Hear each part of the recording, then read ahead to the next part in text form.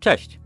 Dzisiaj pokażę, jak tym prostym i tanim testerem ogniw 18650 sprawdzić rzeczywistą pojemność powerbanku. Będzie jak przygotować, jak podłączyć, jak ustawić.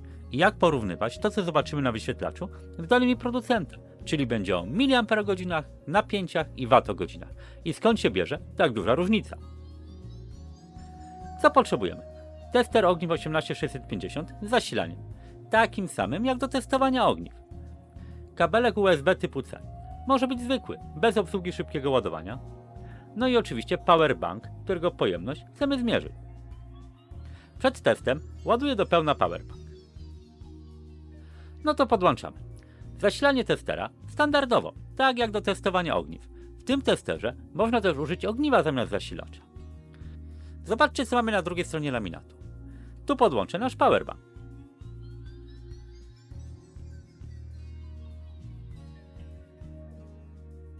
No i mamy. Na wyświetlaczu pojawiło się napięcie około 5 V. Jeśli się nie pojawia, to naciskam przycisk, aby wybudzić powerbank. Powerbank to nie samo ogniwo, jest tam jeszcze elektronika, więc nie ma sensu odczytywać rezystancji wewnętrznej. Nie ma też sensu ładować powerbanku testerem. Bardziej interesuje nas ile energii może oddać, niż ile może przyjąć. Ustawiam więc tester na rozładowywanie. Napięcia nie ma sensu zmieniać, po rozładowaniu nasz powerbank odłączy zasilanie. Można już nacisnąć start. Jak widać, mamy teraz jeszcze na wyświetlaczu prąd rozładowania, zliczane są miliamperogodziny i watogodziny. Ten proces trochę potrwa, więc mamy czas na wyjaśnienie, o co chodzi z tymi miliwatogodzinami i miliamperogodzinami. Producenci sprytnie podają pojemność w miliamperogodzinach. Te liczby po prostu dobrze wyglądają. Nie jest to jednak miara ilości energii zgromadzonej w akumulatorze czy ogniwie. Przy różnych napięciach ta ilość miliamperogodzin też będzie różna. W tym przypadku mamy 10 tysięcy mAh. To dane ogniwa o napięciu 3,7 V. Poniżej mamy pojemność znamionową.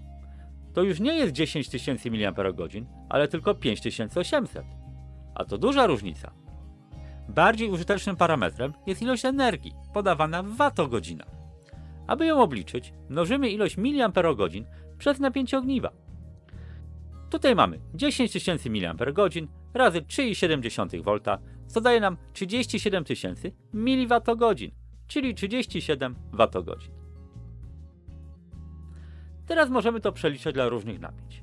Dzielimy ilość energii w watogodzinach przez napięcie i mamy. Przykładowo, dla 5 V 37 tysięcy przez 5 to 7400 mAh. A dla 12 37 tysięcy podzielić na 12 to niecałe 3100 mAh. Jednak nie całą energię ogniwa możemy wykorzystać. Część jest po prostu tracona.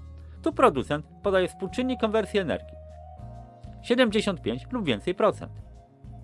Uwzględnijmy te straty. Napięcie znamionowe to 5 V. Mamy 37 tysięcy mWh. Dzielimy więc 37 tysięcy przez 5 i mamy 7400 mAh.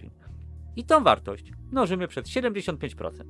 I dopiero otrzymujemy minimalną pojemność znamionową 5500 mAh przy 5 V.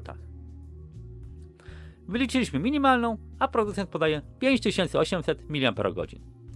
Tak właśnie te 10 tysięcy mAh przy napięciu 3,7 V zmieniło nam się w 5800 mAh przy napięciu 5 V.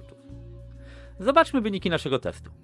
Na wyświetlaczu widzimy około 4,6 V, więc powinniśmy otrzymać nie mniej niż 37 tysięcy podzielone przez 4,6 razy 75%, czyli nie mniej niż 6032 mAh oraz 37 Wh razy 75% nie mniej niż 27 750 mWh.